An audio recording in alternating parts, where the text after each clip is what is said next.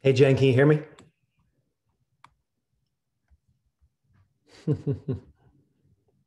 there she is. There's our girl from San Diego. It's early out there, four o'clock. Thanks for logging in.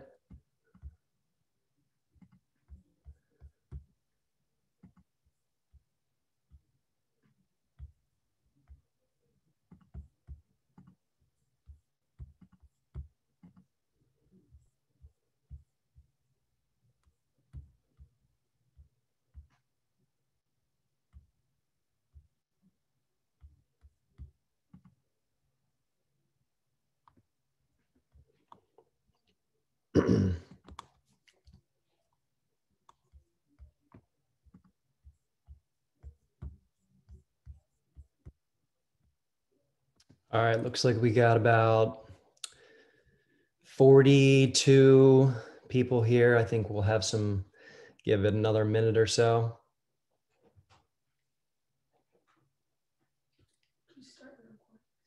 I did, yes. I think I'm recording. Thank you.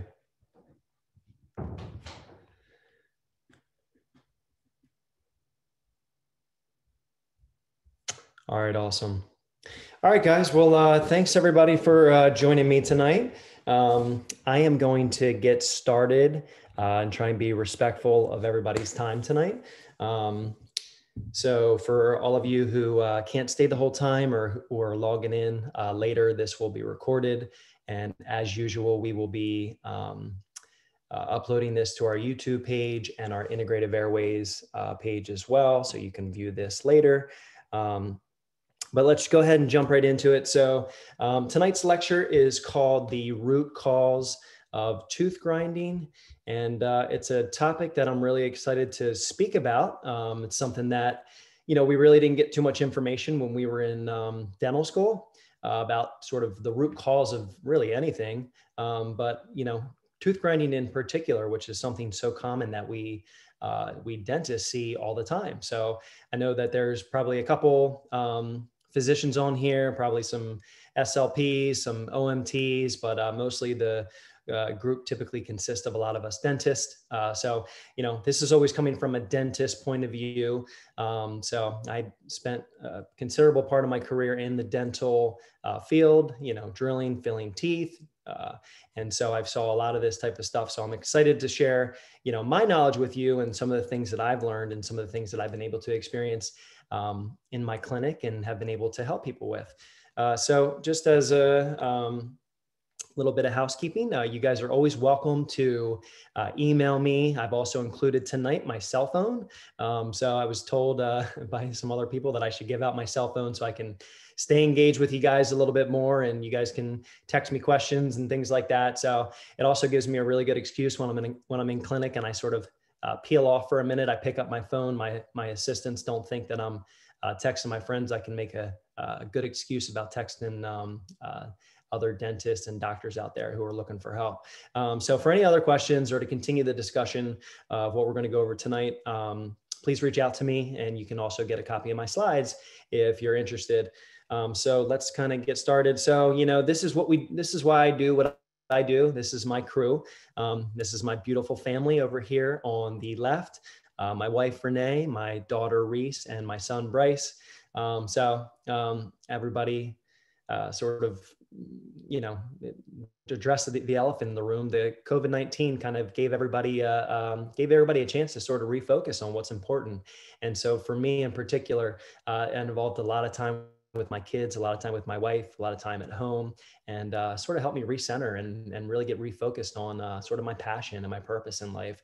And uh, these guys are what I, is the reason I do what I do. Each one of these, um, each one of these guys, both my wife, uh, or all three of them, my wife and my daughter and my son, they all have uh, their own airway journey that um, they're embarking on, uh, which is a whole nother topic, a whole nother uh, discussion, not for tonight, but um, these guys are all um, the reason I do what I do. Your screen is not changing on our vision. It's not? No, we're just seeing the initial screen. Really? Yeah, your right, your first slide isn't it. All right, let me see if I can.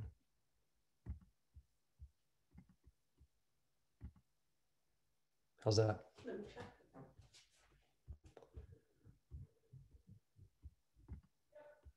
Better? Start that one there. Can you see that? Yeah. Okay, cool. Uh, sorry about that little glitch here with the um, with the Zoom.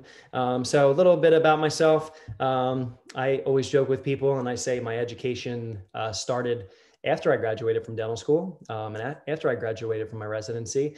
Um, pretty much 100% of the things that I do today, um, 100% of the things that I do on a daily basis were sort of all things that I learned after dental school. And so dental school gave me that indoctrination, uh, gave me some of those letters behind my name, but um, you know, really everything that I do has been uh, in the form of learning uh, through other sort of experts around the world, um, some really great organizations that I'm a part of. Um, really, the field of uh, craniofacial pain and airway has really evolved uh, significantly over the last 10 years. And, you know, I've been practicing for 10, 11 years. So I've been uh, a part of this for a really long time and I am very excited to, um, you know, share with you just a little bit of my knowledge tonight. Um, so a little bit about our center. Um, you know, I uh, am the owner. I'm the chief uh, operating uh, clinical director of the Pain and Sleep Therapy Center. Uh, we have a fantastic office. Uh, it's really state of the art. It is a really, really, really good team that I get to work with. Um, in the center, you'll see myself, um, my partner, Dr. Joanna Green, who uh, deals with a lot of our tots, a lot of our um, babies, tongue ties, um, uh, growth, our pediatric growth and development. Um, she does ortho, she does expanders. Um, yeah, she's a really uh, a pleasure to work with on a daily basis. Uh, to the right of her is uh, Lauren Reinhold. She is our myofunctional therapist. Lauren used to be a, a hygienist with me when I was in general practice, and she has sort of uh, seen the evolution of of me, and she has herself evolved. Um, she used to clean teeth for a living, and now she helps people uh, swallow correctly. She helps people get um, control of their facial muscles. She helps people with their airway muscles. And so she is our myofunctional therapist. Um, and she gives a lot of lectures on this stuff too. So if you've never seen any of her lectures, um, be sure to look her up. She's a great speaker and uh, a great resource for our office. And then to the left of me is uh, Leah. She's our speech language pathologist, and she really uh, has taken our program to a, a whole nother level when it comes to um, that gap between the babies and sort of the uh, kids that we're used to seeing. So um, she's a speech language pathologist. She's a lactation consultant. She has been trained. Um, uh, to be a myofunctional therapist as well. So we're um, really excited to have her, and our team just continues to grow. Over here on the right is, uh, you know, my team, and uh, I just get a chance to work with such a great group of people on a daily basis. So we're uh, kind of a small team, but a very impactful team, and and we're we're like a little family. So. Um, wouldn't be able to do what I do without them. And uh, just want to say thank you to them because I'm sure a couple of those guys are on the lecture tonight. Um, so at our center, we, uh, I like to say we're an airway focused integrative center for health and wellness. Um, our mission is to provide hope and enhance the quality of life for adults and children by finding the source of their problem finding that root cause. And that is to help improve sleep, increase energy, alleviate pain, and promote proper growth and development. And 100% of our time is spent treating airway related disorders and craniofacial pain. So we do not pick up the hand pieces in our office. We don't practice any dentistry. We just um, help people breathe. We help people get rid of their pain. We help people grow and develop properly. Um, and so that's what we're all about. Um, some of the services we offer is everything airway from snoring to upper airway resistance to obstructive sleep apnea. Um, I deal with the majority of my patients are TMJ patients, uh, temporomandibular joint uh, dysfunction. Um, I deal with a lot of patients who have primary headaches, uh, ones that can't be figured out by physicians or patients that get tired of medications uh, to treat their headaches and they try and come in and figure out what the root cause of that headache is. And so um, the team and I take uh, great pride in being able to uh, find that out. Uh, get a lot of uh, referrals just for people who can't be figured out. Um, see a lot of patients, and I'm their sixth, the seventh, eighth, uh, maybe even their ninth uh, specialist that they've seen, and nobody's been able to help them. So um, we see a lot of those patients that kind of come, you know, uh, lacking hope when they walk through the door, and then when we can find their problem and and create a plan to treat it, uh, it's a it's a very in, impactful thing. Um, obviously, oral restrictions, like I said, tongue and lip ties. We do myofunctional therapy. um, pediatric growth and developmental issues, uh, growth of ortho, orth, appliances and early orthodontics. And I like to summarize that and say all this has a lot to do with breathing. And we're going to talk a lot about that tonight. Um, so, as a sort of selfless uh, plug here, um, please take a minute and subscribe to our channels. Uh, we, we really try hard to put out a lot of content. The girls in the office that are responsible for these social media platforms, they really try and educate the, the, the public, edu- educate other providers. Um, we know this is a movement that we're in. We know that this is you know not something that's going to be that's going to happen overnight. And so you know with the more we can educate dentists the more we can educate physicians on sort of the stuff that we're learning and that we're seeing you know the faster we can we can help people and the more sort of collaborative we can be. So we have a facebook page we have a youtube page we have an instagram page.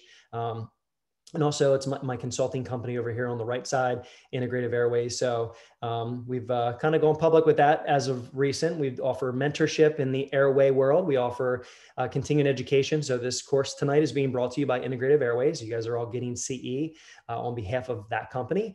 Um, we help people implement airway into their dental practice. And then of course um, we help a lot of dentists from out of state get their delaware board exam um, uh, passed and get a license here in delaware to practice because it's uh, it's tough to get a license here in Delaware. There's a lot of barriers to entry here, and uh, we want to continue to attract good dentists um, here in the state. Um, so why are you here tonight? And that's really a question for yourselves. Uh, I like giving lectures in person. Um, they're way more powerful to me, so I can see all of you guys ask questions. I'm a very uh, interactive uh, presenter, um, but you know, for the for the sake of convenience, um, we've sort of turned to this virtual platform, which really been working out really well for education. So why are you here? Think about it and maybe, um, you know, reach, uh, retouch that at the end of the lecture tonight and see if you learned anything.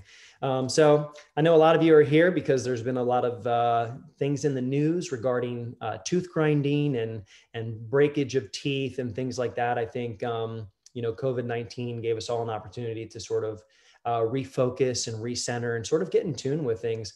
I think one of the things that I've seen is a, a, a complete uptick in uh, amount of house construction, house projects, with more people being home, with more people having their home office. I feel like all of us are sort of um, looking at our houses like, hey, why didn't we do improvements in there? So if you guys are looking behind me, we, the wife and I, uh, decided to uh, redo our home office. So that's a project that's still uh, in the works. Um, so besides improving our households, I think a lot of patients are now looking at their health. Uh, I mean, it's been um, magnified, I feel like, and more and more people are really trying to, you know, ask the, the, good questions that we all should be asking ourselves whenever we have a diagnosis or whenever we feel something. Why? You know, why is this happening? Why? Um, do I have a diagnosis of high blood pressure? Why am I breaking my teeth? Why am I getting root canals? Why am I seeing all of these um, really negative things happen. So I feel like we're just overall, we're just more in tune with our bodies. And we're, uh, so we're seeing a lot of this stuff um, that's happening. Um, and us dentists are, are here to kind of help and, and here to be, you know, a source of information for our patients who are, uh, have these questions. So, you know, dentist seeing more cracked teeth, what's going on? Um, grinding your teeth, uh, your night guard may not be the right fix. So hopefully, um, you know, if all you dentists are listening out there today, hopefully you're going to be a little bit less quick to pick up the night guard and prescribe it to your patient. You're going to be a little bit more um, uh, in tune with asking the question of why and doing maybe a more thorough exam on your patients. Um, so let's kind of jump into it. I practice the root cause model. That's just a, a, a line in the sand that I drew uh, a few years back. And I just said, I'm going to just continue to ask why.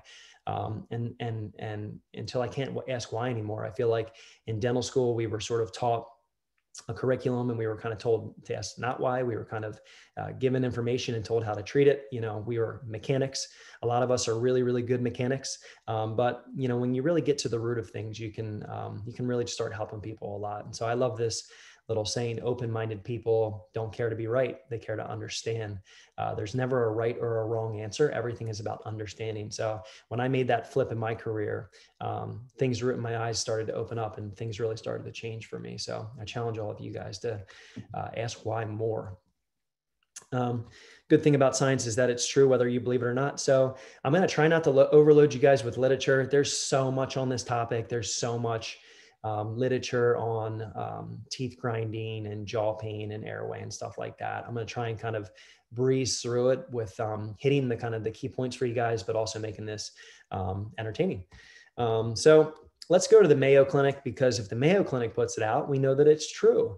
Um, the Mayo Clinic says that bruxism is a condition in which you grind or gnash or clench your teeth. If you have bruxism, you may unconsciously clench your teeth when you're awake, or clench your teeth, or grind them when you're asleep.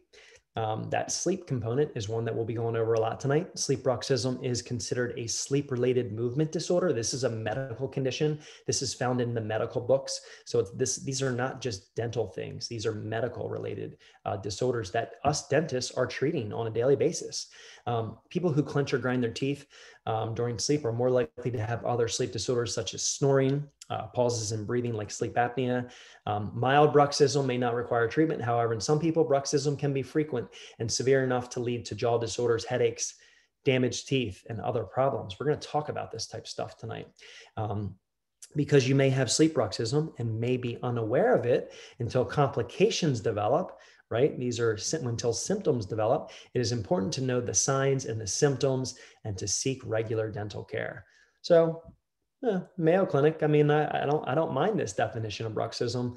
I think it, uh, it opens people's eyes up, and I think a, a lot of misperceptions that are out there is that you know grinding is because of because of stress and we're going to look more into this and i think you guys will be challenging that thought process by the end um, so here's what we're used to seeing as dentists um, I saw this every single day in my general practice. These are called fractures. These are called crack lines. These are those things that we would take an intraoral image and, you know, we'd walk into the clinic and go, oh my gosh, you know, Betsy, there's a big fracture here in this tooth. You know, we're probably going to have to take out this old filling and put a crown on it.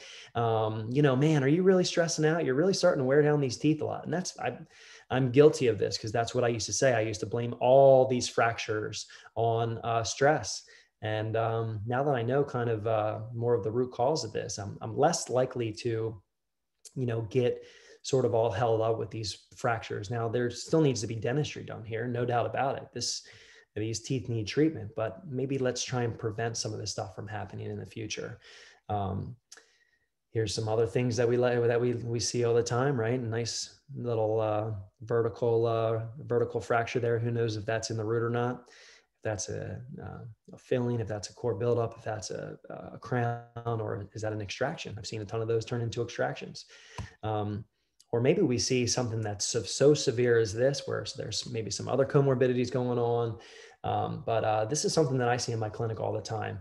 And I have to say, more and more of you guys that are local, um, that are on here tonight. You, a lot of your patients are coming to me nowadays and just saying why you know my uh, my dentist uh, doctor whatever told me that you're the guy to see if i want to kind of find the root cause of my grinding. And he said you know a night guard's not good enough for me. So we're getting a lot more patients who are you know very inquisitive of finding the root cause of these problems. And so you know that's what we do. We take pride in this.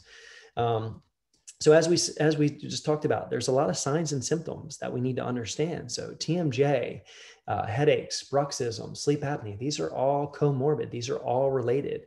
Um, so we have you know things like sleep apnea um, tmd headaches jaw pain muscle pain snoring grinding. Um, we're going to see uh, how all these are so uh, interrelated and and how the research is you know really uh, driving us um, us sort of specialists in this area to really understand this stuff more and, and put out more research, put out more studies so that eventually, I mean, not anytime soon, I'm sure, because you know our dental school and medical school curriculums are about 30 to 50 years behind of what's current but um, eventually you know my goal is by the end of my career i hope this stuff finds its way into a into a curriculum in the local in the in the dental schools and and you know you know more dentists are graduating you know knowing this stuff and not having to take as many continuing education courses like what you guys are doing right now giving up your you know wednesday night to be here with me. So you know what we have found throughout the literature is that you know tmd craniofacial pain airway problems um, these things are 80% comorbid we just can't separate them we just can't separate them anymore um, and so what we found with a lot of our patients is, you know, a lot of patients come in for all different various symptoms, all different various uh, reasons. You know, some people come in and they know they have an airway problem. Some people come in and they just have pain. Some people come in and it's that cognitive function. And like it's this vicious cycle that our patients just sort of are in and they can't break themselves out of it. And they can't kind of um, they they try little things and they still just can't break themselves. And we found that it's really easy to break patients out of this functional impairment, this vicious cycle that they're in, when we actually find the root cause of their problems. And then we we stop treating less peripheral things and we start treating more of the root cause and more of the origin of this stuff. Um, so I like this chart just because it's so simple. Um, one of my uh, mentors in this uh, in this journey that I've been on for a long time now is uh, Dr. Spencer. Um, I've learned a lot from him, and he says dental sleep medicine is easy as long as you're an expert of the TMJ.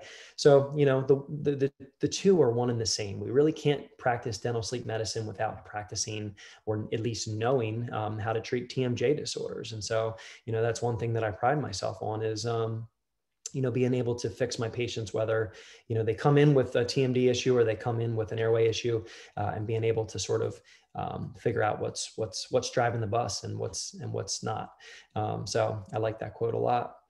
Um, there's a lot of literature there's a lot a lot of literature there. I don't want to get sort of um, i don't want to sort of get uh, buried in, into this stuff but you know re- reach out to me if you want research on the on these things.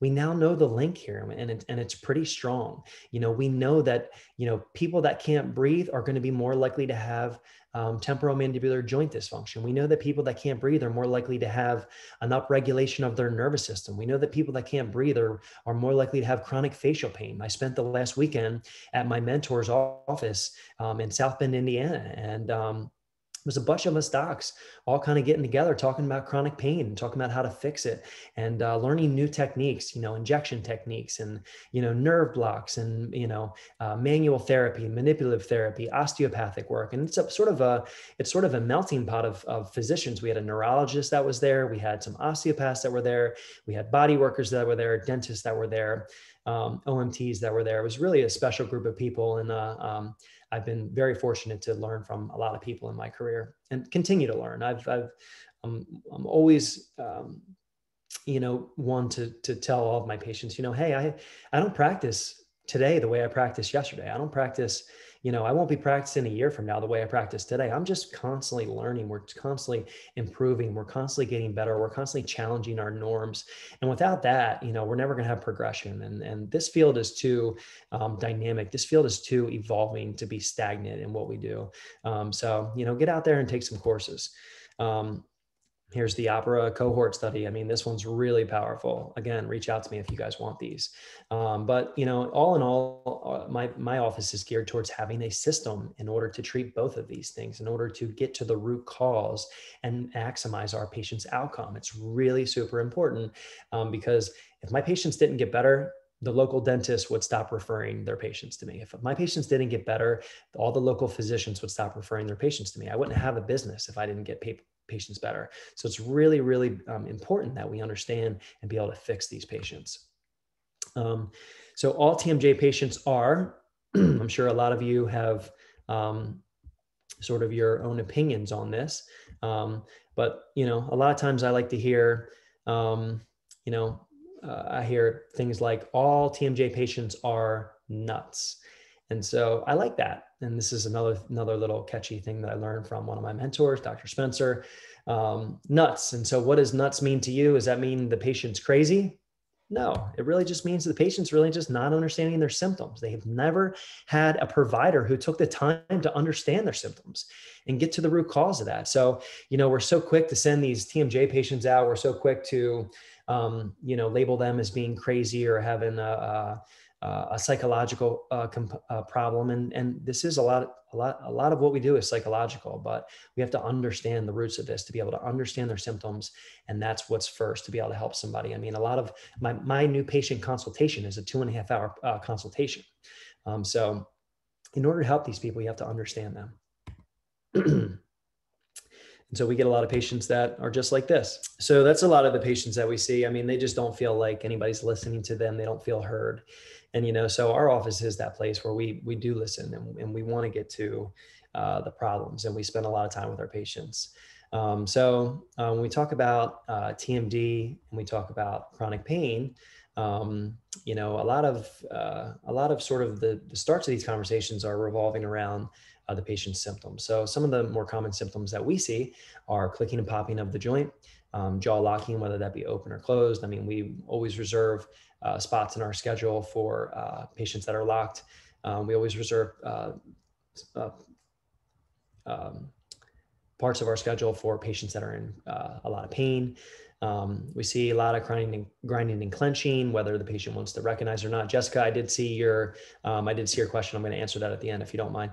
Um, limited opening, trismus, whether that's from a dental procedure or whether that's from just any sort of muscular spasm.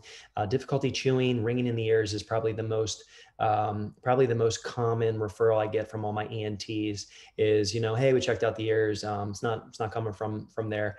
Um, can you fix that? And, and for the most part, um, it's very predictable. Tinnitus uh, is is something that um, is often very misunderstood. And so if we get to the root of it, we can actually fix that. We have a lot of patients that come in with uh, jaw joint issues and you know through our treatment we're able to help them out with their with their ringing and that can be a huge huge huge victory in a patient's life uh, life. Um, headaches of course back neck pain other pain and discomfort. So these are just symptoms um, guys and we have to understand that they are just symptoms. But what is the actual diagnosis? I mean we have this umbrella term that we use you know so uh, frequently called tmj well TMJ is a everybody has TMJ. Like when patients come in and say I have TMJ, I'm like, oh, cool, me too. Um, that's great. That means that you know you have that structure. That's that's that's a start. Without a TMJ, I can't help you. Uh, but it's just become one of these umbrella terms that we just sort of throw everybody into that has facial pain, and um, we have to understand like what is what type of TMJ issue is it? Is it an intracapsular disorder? Is it an extracapsular disorder? I mean, a lot of patients that I help, you know, they're muscular disorders, they're inflammatory disorders, there's adhesions that have built up, um, there's myofascial pain, there's trigger points. I mean, and these trigger points are really super important to understand. So if you guys don't have never read the Travell book uh, that goes over trigger points, like realize a lot of the pain that us dentists see in the mouth that may not be coming from a tooth that may be coming from something somewhere else. And so this referred trigger point pain is something we have to root out on a daily basis you know? So for instance, my lead assistant Dana um, saw uh, one of our a patient in today, a new patient, and she was complaining of a ton of um, uh, tooth pain up in the um, I think it was up in the upper right. And, uh, you know, she starts palpating all the muscles and she's finding all these trigger points in the temporalis it's like you know we don't go right to that i mean we want to check out the tooth make sure there's nothing wrong with it but we don't go right to that tooth and start you know adjusting the tooth or start doing anything with the teeth. Like we want to find out where that's coming from. So of course we lasered the trigger point and voila the tooth pain went away like literally chair side. Um, you know so we have to know where, where where the roots of this stuff. We have to know our anatomy. We have to know what we're what are we treating before we actually treat it. We have to be very careful with being able to sort of give out this night guard um, or adjust a tooth or something like that before we actually understand what's going on. Um, so from a, or maybe it could be an intracapsular disorder. That's a lot of the ones that we see, you know, retrodiscitis, capsulitis, any internal derangements like a disc displacement with or without reduction. You know, sometimes we get to the point where our, our jaw joints are so worn down that there's osteoarthritis, there's degenerative joint disease going on. But we have to understand what the diagnosis is in order to help help these patients out. Um, Kim, great question. I'm going to answer that at the end too. Um, sorry, guys, I'm going to keep rolling through these slides and I'm going to answer all of your questions at the end. If you want to, just keep popping them up in the chat box and I will go over them at the end. Um, so, you know, one of the things my mentors taught me is 95% of effective treatment is an accurate diagnosis. You have to have the diagnosis. So, how do we arrive at a diagnosis?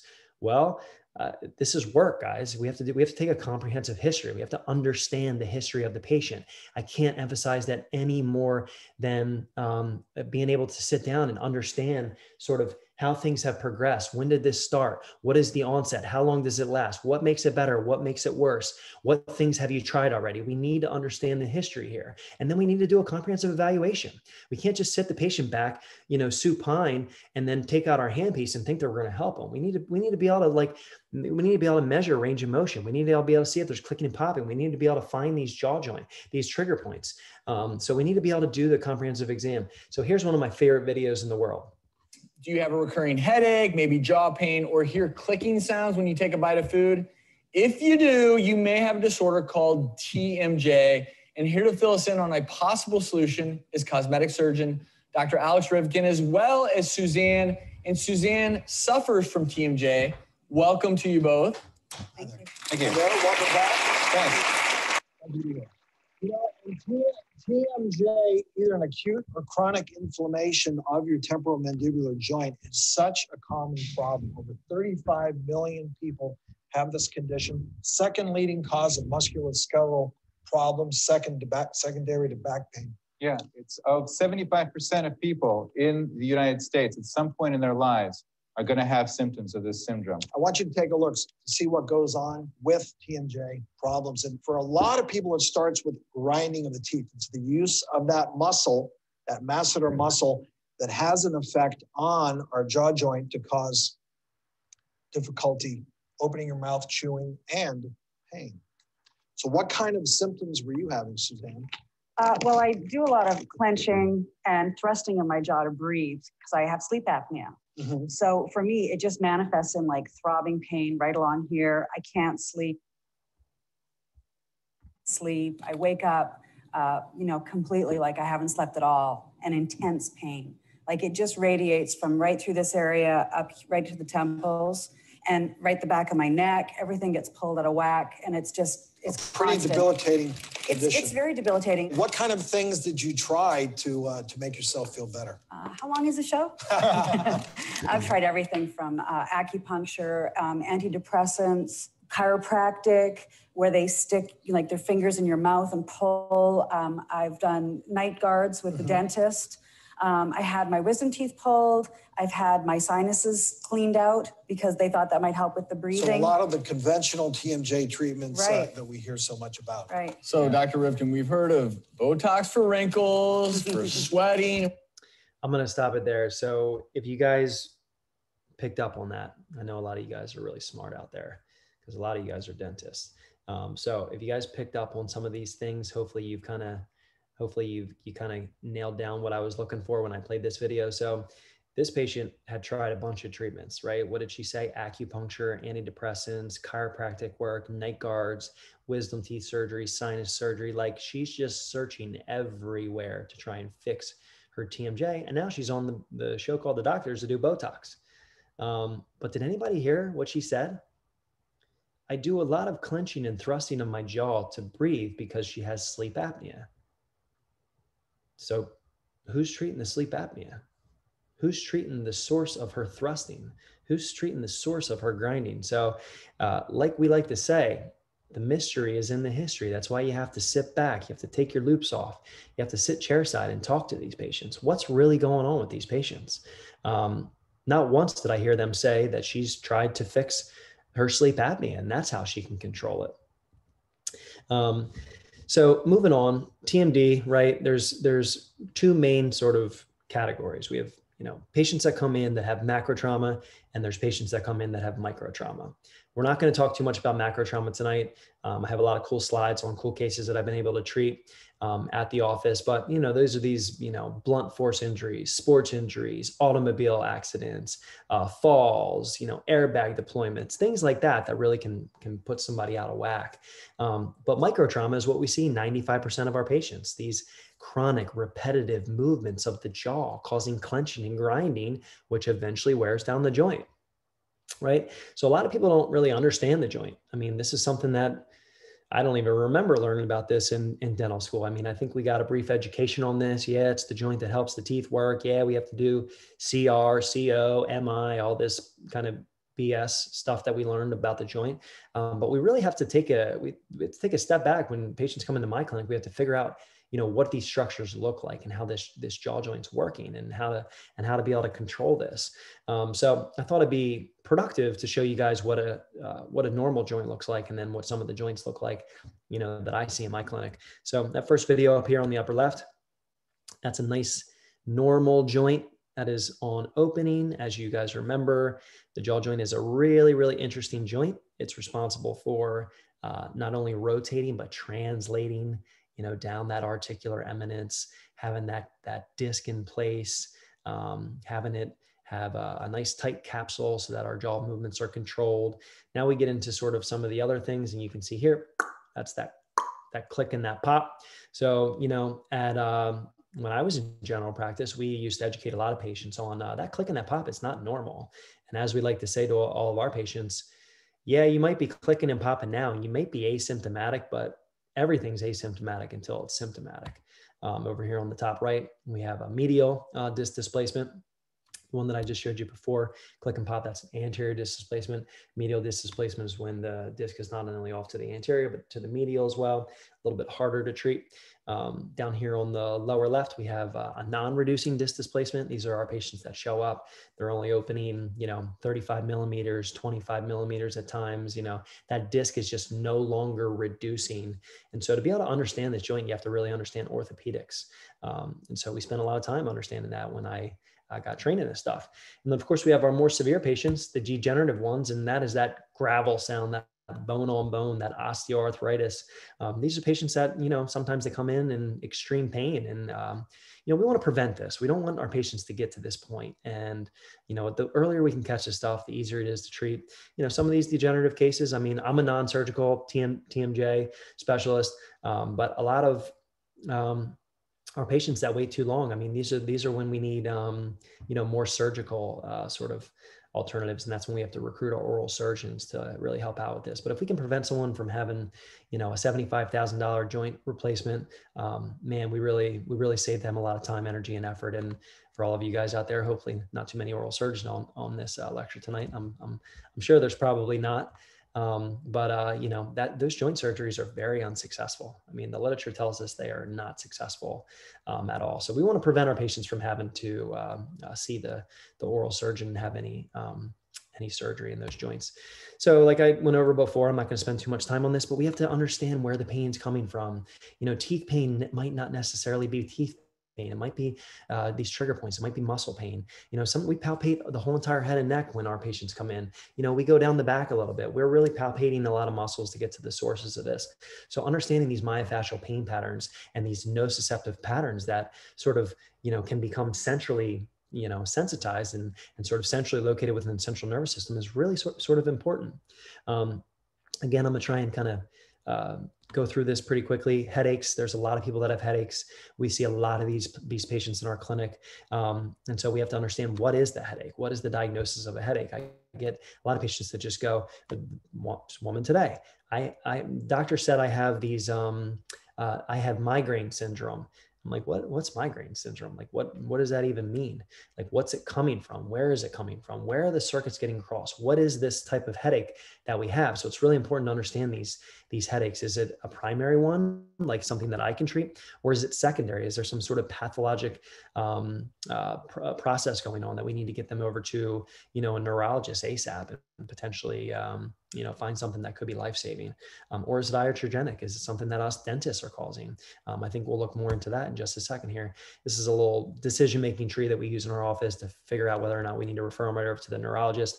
I prefer seeing patients that um, have already been evaluated by a neurologist. I prefer patients that have already tried drug therapy. I prefer patients that have already tried other things. That way I can kind of get to the root of it. And um, a lot of these patients with chronic migraines and headaches uh, get uh, uh, immediate relief when I start treating them.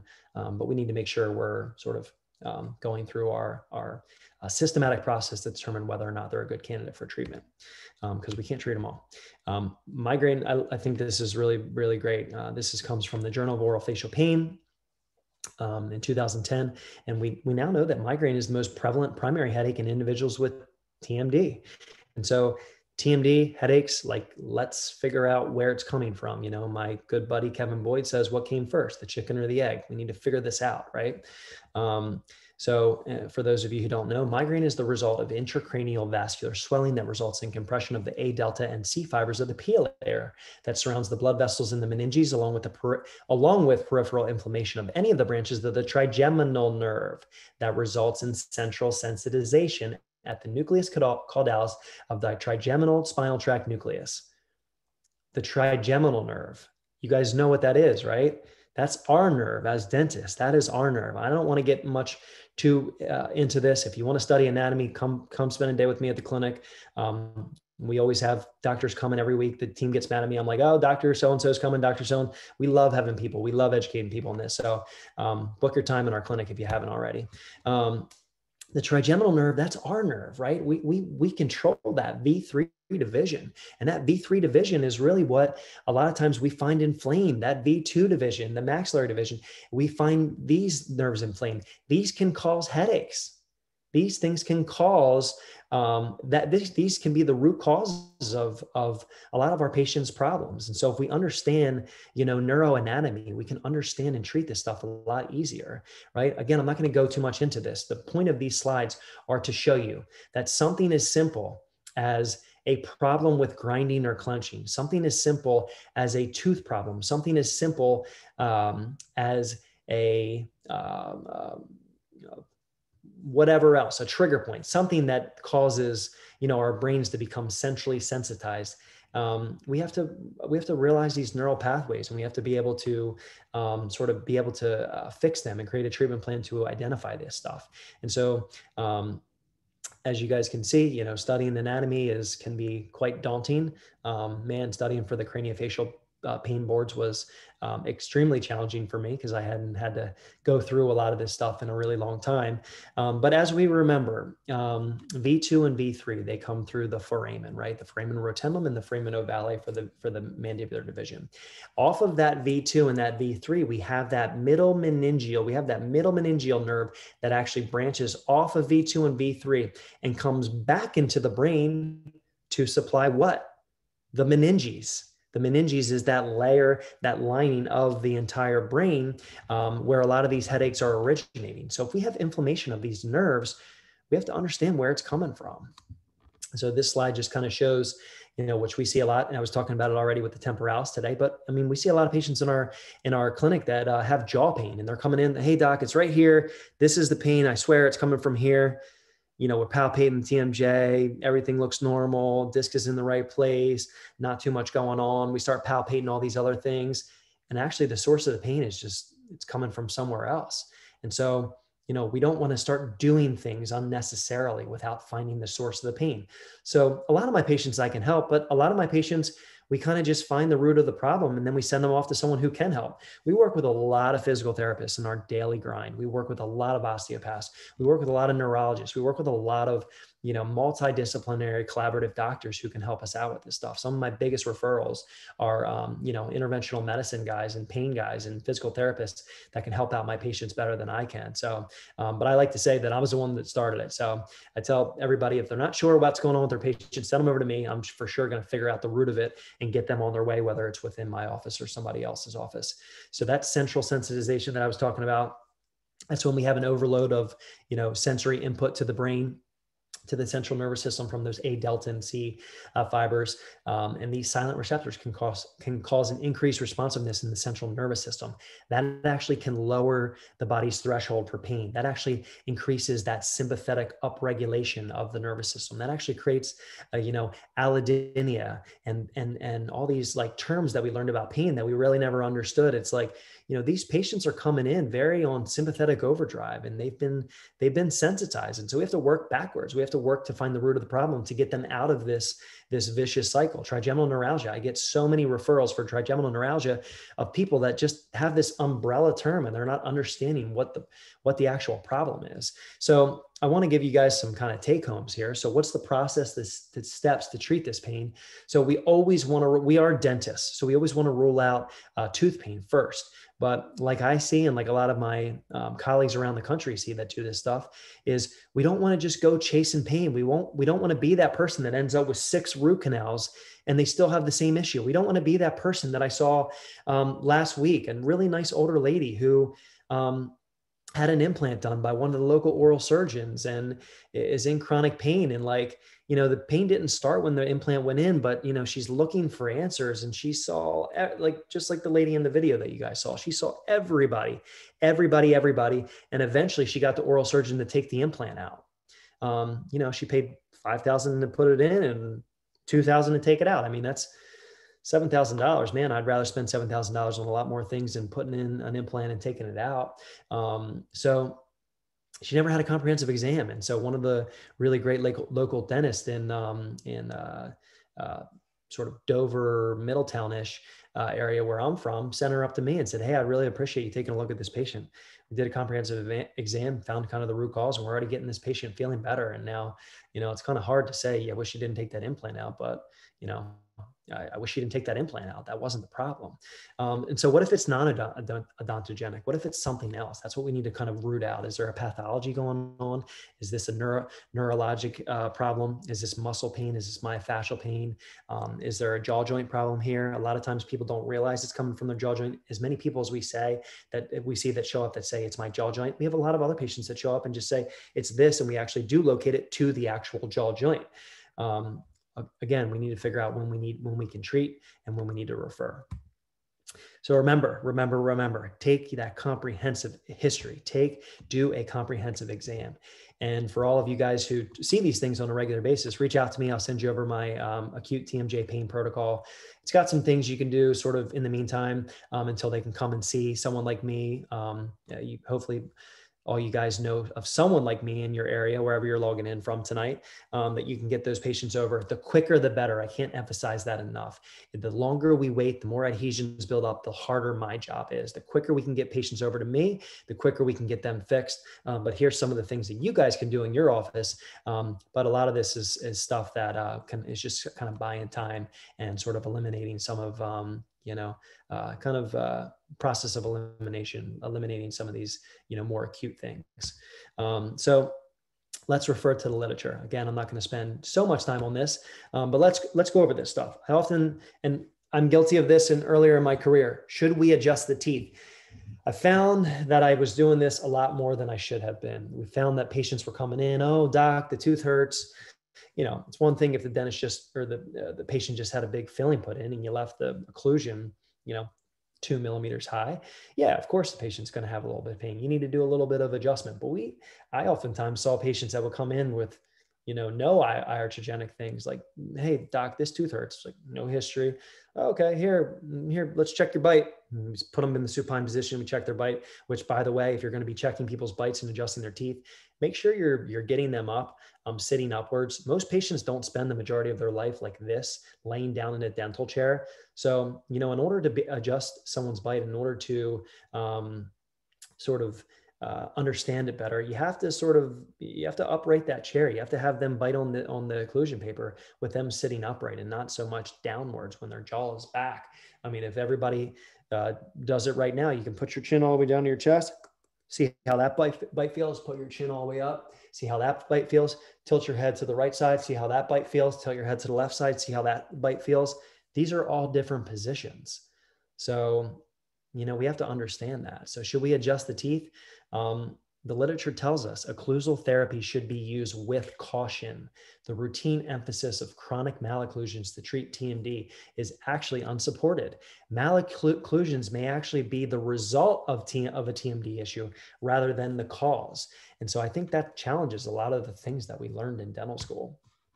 Um, so, review the literature and recent studies do not support the etiologic role of occlusion in temporomandibular joint dysfunction. It's not always about the occlusion, guys.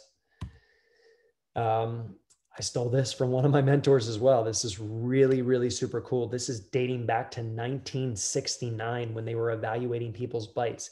I say this to my patients all the time, and you wouldn't, nobody has gotten this right, by the way. Um, nobody, nobody that I've asked. How, and I, I, say to my patients all the time, how, how often do you think your teeth should touch? And they're like, oh, a couple hours, you know, all the time. Um, I never have anybody say 1%. And the literature shows us that our, our teeth should really only touch, you know, um, very briefly during meals when we're chewing um, and mostly just when we swallow. And so, you know, we swallow, you know, anywhere from, you know, 300 times a day to a thousand times a day, depending on, you know, what research you look at. But the, the point is we swallow a lot. And so when we swallow, our teeth touch. When we're not swallowing, why are our teeth touching? If our teeth are touching that's a that's a myofunctional disorder. That's a myo that's a, that's a problem that needs to be sent to a myofunctional therapist. We shouldn't be touching our teeth during the day. Normal rest posture and this is what my myofunctional therapist does every single day. Normal rest posture is lips together teeth slightly parted and tongue on the roof of the mouth. That's how you all should be sitting right here, right now, unless you're a couple of my buddies that texted me before that saying you're having a couple beers listening to me, me chat. Um, but when you're sitting here at rest, you should have normal rest posture. We should not be grinding and clenching on our teeth. Um, so hopefully you guys are are learning equilibration. Have to postpone equilibration, when there's a joint disorder, when there's a, a popping and clipping going on, when there's muscles that hurt when you when you palpate them, when there's an unstable mandibular position, when there's neuromuscular imbalances, when there's responses from the central nervous system, please don't get out that handpiece and start drilling your patient's precious teeth down. It's not the it's you're just crossing your fingers. What did what what what are you treating? High occlusion? Um, so sorry, I get passionate about this stuff because I oftentimes um, have to be gentle with this when the when the when the dentists call. So um, bruxism, what is it? Chronic micro trauma, right? We're talking about those that micro trauma. We're talking about these chronic repetitive movements of the jaw um, that cause the teeth to hit each other. So what causes this stuff? Well, stress, right? That's sort of the a lot of the misperception that's out there, and no doubt about it, stress can cause bruxism. Stress can cause grinding and clenching of the teeth, no doubt about it. Um, so we have that psychological emotional component. We also have a lot of medications. I was discussing this with one of my patients today. She's come so far in therapy. We have her at the point where she's starting to wean from her daytime appliance. Um, and we had to have a really tough conversation with her because she's starting to wear out all the bands of the appliance and um, you know she's on an ssri and um, you know i said you know would you be open to talking you know having me talk to your physician about this ssri that you're on? You know maybe we can get you on an alternative. Because i know i know deep down that this ssri is probably causing more clenching and grinding. You know so realize these medications and drugs that our patients are on which are really really common these days. I mean a lot of our patients are walking in with anxiety depression. Again that's a whole nother lecture i can go on about that for days. Um, but uh, you know we really have to understand what these medications do to our our patients. And a lot of these side effects are grinding and clenching of the teeth. Um, one of the orthodontists locally told me that uh, you know kids grind their teeth because of a mixed dentition. Um, i've never seen the research on that um, but i'm open to it. I'm open-minded as always. Um, pain in the body. This is something we see all the time. The tmj is the barometer it is the actual barometer for the whole entire body. If we break our ankle and start walking around with a broken ankle, what's the first thing we do? We clench and grind our teeth. Every step we take, we're clenching our teeth together. So we have to be able to treat some of these pain patterns and, and get a patient out of that pain dysfunction in order to help them not brux their teeth, right? And then one of the biggest things that we see, um, and hopefully you guys are starting to make the connections here, is breathing dysfunction, right? Snoring, upper airway resistance, sleep apnea. Um, can anybody name anything more stressful than not being able to breathe at nighttime? I mean, grinding and cleaning. I tell them I have patients, I have uh, conversations with my patients every single day about, about this. It's like, I'd rather you grind your teeth. I'd rather you wear down your teeth and stop breathing you know that like that's the better alternative but we have to understand what the root is. And so when we can control patients pain we can we can control their sympathetic upregulation when we can control patients breathing ability we really can get these jaws quieted down. We really can see less sort of trauma with the teeth and stop chasing things um, so what do all these things have in common? Upregulation of the sympathetic nervous system. And so um, again, for the sake of time, I'm gonna I'm gonna breeze through this. There's plenty of literature, guys. Look up the literature. Sleep bruxism is a sleep-related movement disorder. It's defined as activity characterized by grinding or clenching the teeth during sleep. It has to be distinguished from daytime clenching. You have to distinguish this right? And nobody, your patients aren't going to tell you. Jessica, you were right on when you asked that question. Your patients are not going to know that they're grinding their teeth. You have to educate them. You have to make them aware of the literature that's out there.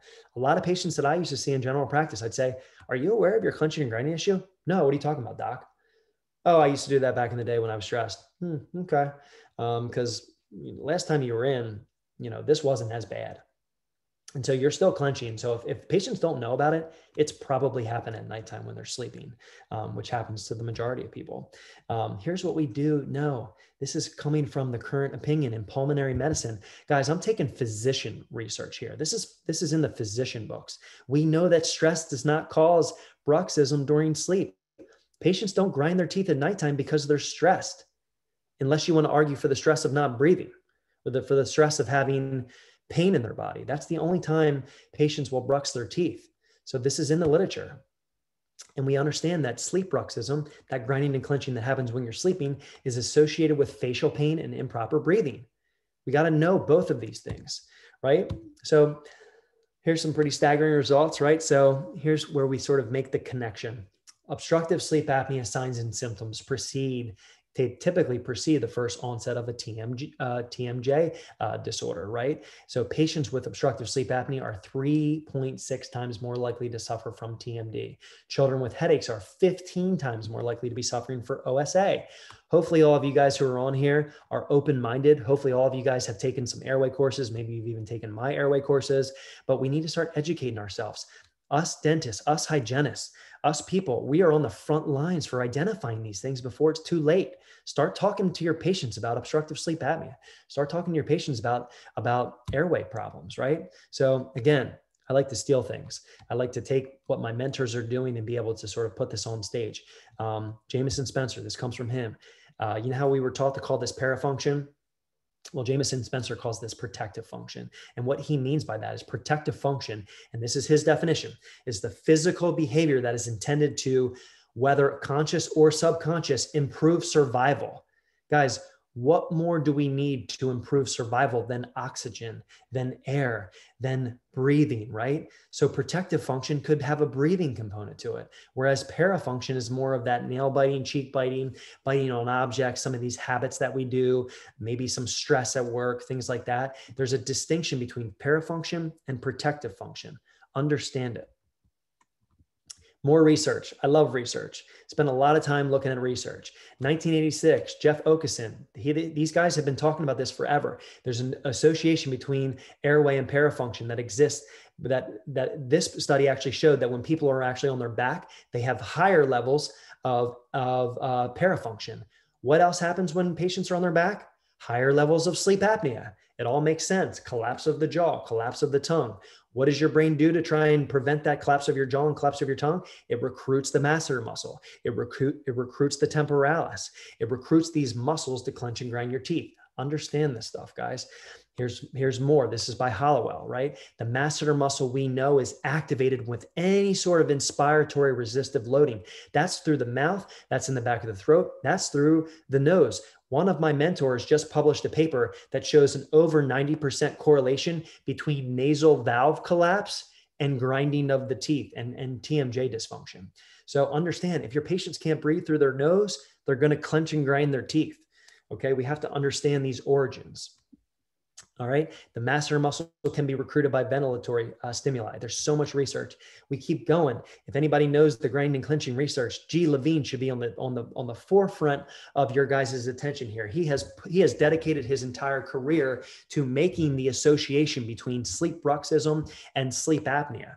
Okay, so understand this stuff. Here he is again. Sleep bruxism episodes during sleep are under the influence of brief and transient activity of the brain system, the arousal reticular ascendant system, which, by the way, is also uh, associated with breathing. If we have a pause in our breathing, that's the system that has to get activated. And that's the system that lights up um, when we study this stuff when the jaws clench. Coincidence? I think not. This is research, guys. Um, muscle activity is associated with a rise in respiratory events with it's uh, associated with a rise in arousals and these arousals are the body's way of sort of getting the patient out of this sleep apnea issue.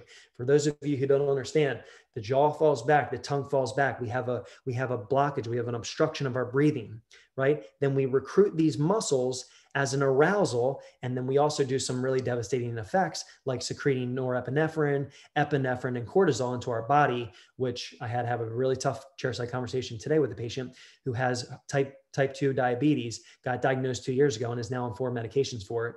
And she is in this very, very upregulated um, sympathetic uh, nervous system where she has insomnia, she can't sleep, she's getting light sleep, she's grinding her teeth, and I had to uh, I had to tell her the reason these medications are not working, the reason your insulin is so uncontrolled is because you're excreting so much cortisol at nighttime. Cortisol will prevent insulin from doing what it's supposed to. We have to understand this. Here it is again nocturnal bruxism. It's a protective mechanism against obstructive sleep apnea. We now know that bruxism is found to be 79% predictive of sleep related breathing disorders. It doesn't necessarily mean obstructive sleep apnea. It could just mean an upper airway resistance, but we have to be able to understand this. Airway? I'm going to skip that video for the sake of time. I know I'm already over. I'm going to I'm going to wrap up here soon. I want some real good take home points. Um, but as if anybody has ever heard me lecture, I never stay on time, so I apologize. Um, treatment options for bruxism, right? Option one: Do we take out our handpiece? Do we start equilibrating? Do we prescribe them a mouth guard, or as I like to call it, a chew toy? Do we make them once they grind through that chew toy? Do we make them a, a new chew toy, or do we try and find the root cause? Do we try and find the root cause and understand why these patients are doing what they're doing? So occlusal guards, night guards, chew toys, they have their they have their purpose. But let's kind of get into this. I use this all the time. I say, you know, my patients go, well, my dentist prescribed me a um, a night guard, and I said, oh yeah, they gave you a helmet. and they're like, what are you talking about, helmet? I'm like, well, if I were to walk outside right now and I see some guy just slamming his head into the brick wall, am I going to just go to Dick's Sporting Goods and get him a football helmet and say, here, smash away? Uh, or am I going to try and understand what the root cause is of this and be able to help the patient? Maybe I go over to him and say, hey, um, you're really doing some damage here. You mind if we step away and kind of talk about this and kind of figure out what's going on with you? It looks like you're in a state of distress. You know, so those patients that are bruxing and grinding their teeth, they're in a state of distress. We have to understand it. So, you know, these occlusal splints, they have their they have their their purpose. Don't don't get me wrong. They have their purpose in dentistry. We use them for large implant cases. We use them for large crown and bridge cases. We use them to control some of the investments the patients make with veneers and you know things like that. We don't want them ruining the beautiful work that we just did.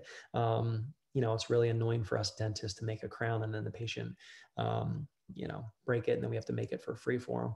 Um, that's not fun. Or if we just did a large implant case or veneer case or something like that, and the patient ruins it, um, you know that's on us.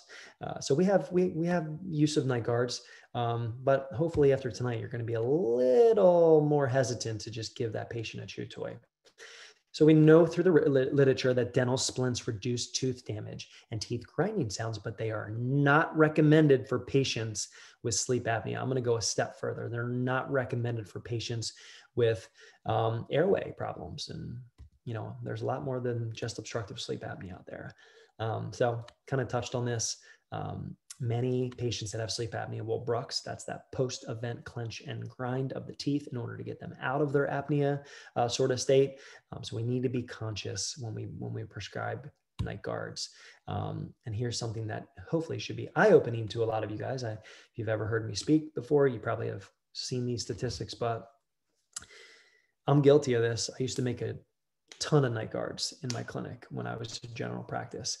And really, I wasn't asking the patients how they slept at nighttime. I wasn't asking the patients how they how they breathed. I wasn't trying to get any more information on their central nervous system. I was just handing them a piece of plastic and saying, you know, I'll take $750 for that. Um, that's what I was doing. That was what the model that I was taught in dental school. And that was the model that I thought I was doing to help people. Now we realize that night guards are actually not indicated for patients with airway problems not only are they not indicated, but they actually can make sleep apnea worse. And that's the scariest thing here is like we all took that oath when we became dentists, like do no harm. We don't know what we don't know, but some of us are doing more harm than we are good when we give our patients these things. You ever have that patient that goes, Hey doc, I just, you, I mean, you made that night guard. I just keep spitting it out. I keep finding it in my bed. I mean, I can't tell you, I'd say at least three patients a week that I see in my clinic um, has that same story. I'm like, well, duh, you can't breathe at nighttime. Your dentist gave you this big night guard to use, which is a piece of plastic that's even more obstructive to your breathing, another threat of, of you breathing, more likely for your tongue to drop to the back of your airway. Of course, of course, you're going to spit it out. I used to do the same thing. I had nasal obstruction. I have a whole nother story on that. It's a whole nother lecture topic. Um, so we've beat the dead horse here. Hopefully, I am ingraining this into your head. Please be conscious of splints, flat plane splints in obstructive sleep apnea patients. Do not make obstructive sleep apnea patients uh, flat plane splints. Okay. So is airway the root cause of all this? Mm, maybe not all of this. If you're uh, Jeff Rouse at the Spear Institute, uh, I joke with Jeff, and we we joke all the time. We say, and Jeff says, airway is the root cause of everything. Everything in the world is airway is the root cause of it. And uh, uh, you know, I'm on the, I'm on that train. I'm on I'm on board with that. But um, it, it seems to be, in my experience, the root cause of a lot of these patients' problems. Uh, so being being an expert at the jaw joint, being an expert at airway, is really going to help uh, help us control the tooth grinding that we see. You know, so who has an airway problem? We're going to run through this real quick. Of course, you guys could spot spot him from a mile away, right? AHI for all of you guys who are um, not sort of in this uh, space. AHI stands for apnea hypopnea index. It basically stands for how many times does a break, does a patient suffocate per hour um, for more than 10 seconds. Um, so you can spot him, right? He's easy to spot. He's pretty easy to spot. She's not so easy to spot, is she? She has obstructive sleep apnea. She's not so easy to spot, is she? She has obstructive sleep apnea. She's not so easy to spot, is she? She has obstructive sleep apnea. She has obstructive sleep apnea. She has obstructive sleep apnea. That's my mom. My mom has obstructive sleep apnea. That's my dad. My dad has obstructive sleep apnea. And that's me. And I don't have sleep apnea yet, but I was probably on my way if I didn't go on my journey a number of years back. You know, and, and that AHI of 4.2 for me is um, is scary. I mean, four times an hour, I stopped breathing. Um, that's really, really scary. So I treated myself and I got help. Um, so, you know, I would be classified as your typical upper airway resistant case. Um, don't have a medical diagnosis, but that doesn't mean that I don't need treatment. Um, so again, I'm not going to, you know, harp on this. If you guys want to learn more about airway, sign up for my airway courses.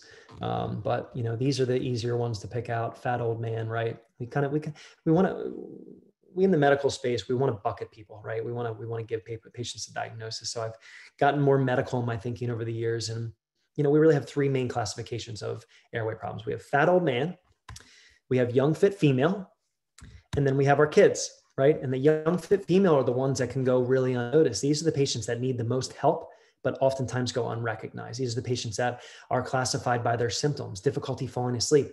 Sometimes we mistake that for insomnia and get these patients on Ambien, Lunesta, melatonin, uh, you know, Tylenol PM, like all these like stupid drugs to be able to treat this thing when we're really not understanding what actually is going on. These are the patients that have more anxiety, depression, more sort of upregulation of the sympathetic nervous system, more fight or flight, right? They have a lot of sleep fragmentation. They have a lot of microarousals. They're waking up all points of the night, grinding their teeth, grinding their jaws. You know, these are the patients that really need the most help. And then, of course, we have our children. And, uh, you know, my two kids have their own airway journey, um, which uh, another separate sort of uh, topic. But, um, you know, we have to be able to start looking for these things. Maybe some of you guys treat pediatrics, maybe some of you guys don't. But, you know all these things are stuff that we need to start looking for you know all the general practices that i work with um, where um, we do lunch and learns and so and if you and if, any of you guys are interested you know get on our schedule um, we'll teach you guys how to screen for this type of stuff um, but it's really important that we start having conversations with chair with uh, pa- with patients chair side you know snoring in a kid is not normal bedwetting until the age of five is not normal. Breathing with your mouth is not normal. Rolling around and and and you know having sweating episodes at nighttime is not normal. Difficulty waking up in the morning is not normal. You know um, restless sleep is not normal. We have to be, have to be able to identify these things right daytime issues right sometimes we see kids that are sleepy during the day sometimes we see it go the reverse way you know a friend and a colleague Darius Loghmanee out in, out in chicago who is a um, pediatric um, uh, sleep specialist. He talks about how ADHD and sleep apnea are, are two and the same. And there's problems with attention, there's problems with hyperactivity, there's problems with focus. And those are the same things that we diagnose our kids with ADHD, yet we never even check the airway. We never even see how they're sleeping. You know, so um, these this is a kid. Kids shouldn't be wearing eh, wearing holes in their teeth like this. That's ridiculous. You see a kid wearing holes in their teeth like this, send them to a specialist. You know, this is not normal. So, what is the role of you guys, the dentists in sleep and breathing? Well, hopefully, you guys have seen this. In 2017, the ADA made a clear stance. You know, this is the first time the ADA got involved, and they say dentists need to start screening for airway. I hopefully you guys all screen for oral cancer. You guys screen for oral cancer. Take 30 extra seconds and screen for airway. Make it a part of your practice, guys. This is really not hard stuff to do. Make it a part of your your practice. Your patients will forever forever ever be in, indebted to you. They'll forever be loyal loyal to you. I can remember back in 2014 when i first started screening for airway and like i used to have patients husbands and wives come in to me back in 2014 and say you saved my husband's life. Without your your screening of this, we never would have had the diagnosis. We never would have got on CPAP. We never would have gotten the help that he, that we needed. This is like, you know, serious stuff, guys, and we're at the front line. So, Um, you know, it only took until 2017 in order to make this a, a sort of a wide known thing. So hopefully you guys aren't late to the ball game, but by showing up for the lecture tonight, you're you're you're getting there, right? No way.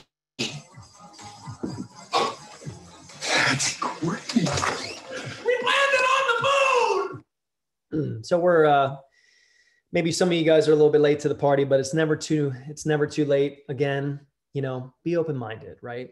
You know, be willing to learn. Um, that's a core value of mine is always learning, always challenging what I do.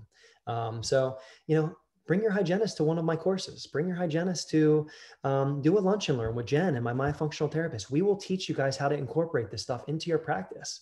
It's a couple of little questions on the patient health questionnaire. It's 30 seconds out of your hygienist life to, to screen for this stuff. Uh, come on, guys, it's really not that hard. I can give you guys my sleep health questionnaire. Reach out to me. Let me know. I'll give you guys these forms. You know, but we ask people, have you ever been told that you snore? We don't say, do you snore? Who knows if they snore? Nobody knows that they snore. They're sleeping. Uh, they've been told that they snore. That's how they know they snore. So be be be intent intentful with your words. Have you been told that you snore? Does anyone in your family suffer from this? Do you ever get headaches? Did you know that headaches are related to temporomandibular joint dysfunction? Did you know that headaches can be related to tooth grinding? Do you take medications to get to sleep? Is it easy for you to get to sleep and stay asleep? Do you feel rested when you wake up in the morning? Guys, I will teach you this stuff. You can incorporate it into your practice tomorrow, right? We want to screen for pediatric um, airway issues. We want to, we have five questions we, we give out nowadays. Five, that's it. It's easy, right? And here's our little, here's the latest thing we do. Like a lot of the feedback that we've been getting over the last several years is your guys' stuff is way too comprehensive. Like we need it, we need it, we need a dumbed down version of this. So that's what we did. Lauren and I got together. We created this 30 second hygiene airway exam and we call it, we, are still working on this. I know it's, it's kind of stupid. Just practice together today. Um, JPTT. We got to check the jaws. Is there popping and clicking? Is there limited range of motion? Do you guys know that people should be able to open to 55 millimeters? If people are only open 45 millimeters, 40 millimeters, 35 millimeters, there's a problem there's a problem. We need to figure that out. Is there pain when they're opening, right? Check the jaws. You guys are all used to putting your hands on these joints, right? Check them. Educate your patients. We have to look at the palate, both the hard palate, the soft palate. Are they narrow? Do they have a high vault? Do they pronounce rugae? What's their Mallampati score?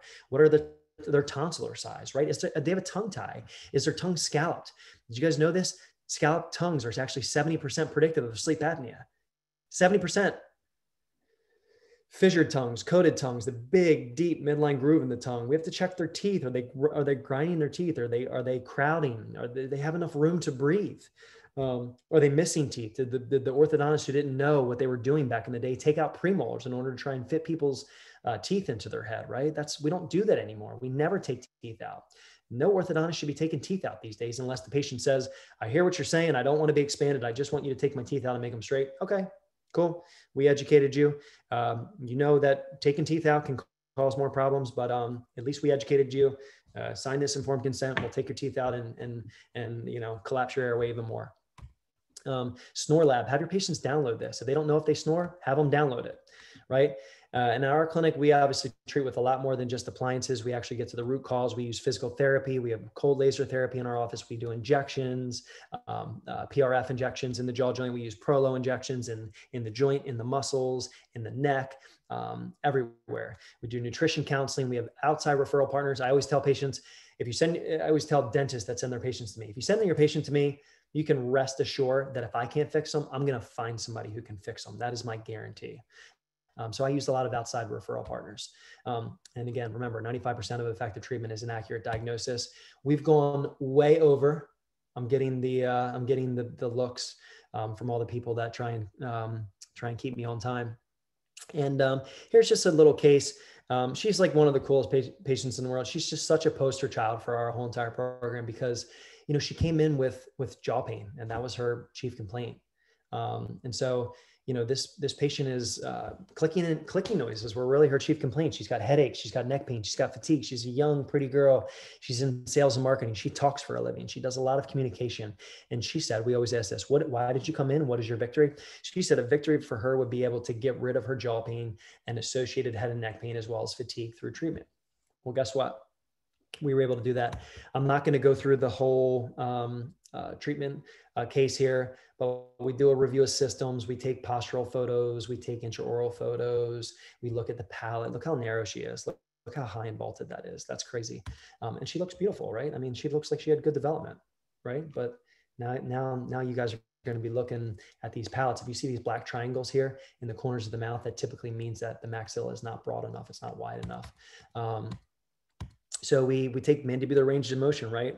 Um, we do we take uh, CBCT. CBCT is I use it every single day. I, I, wouldn't be able to do what I do without a CBCT uh, in my clinic. And we look at jaw joints, and we look at airways, and we look at nasal obstructions, and we look at spines, and we look at um, we look at calcified um, um, uh, stylohyoid ligaments and things like that. So the 3D imaging is extremely important to detecting the root cause. We use radiologists. We use oral maxillofacial radiologists.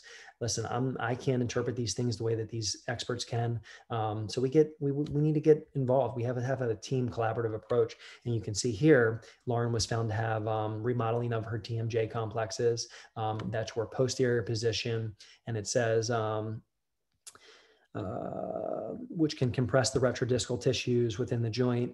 Um, she also has a narrow oral pharyngeal airway space. This may increase the patient's risk for obstructive sleep apnea. How cool is that? We're having a radiologist tell us about that this patient's risk for obstructive sleep apnea is higher. She has ossification over stylohyoid ligaments. There's so much we can find out, guys, by using CBCT these days.